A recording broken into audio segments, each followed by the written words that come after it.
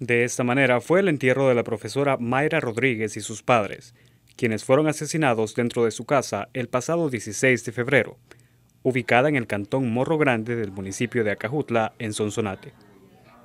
Mayra tenía 29 años de edad y daba clases en un colegio privado de Sonsacate.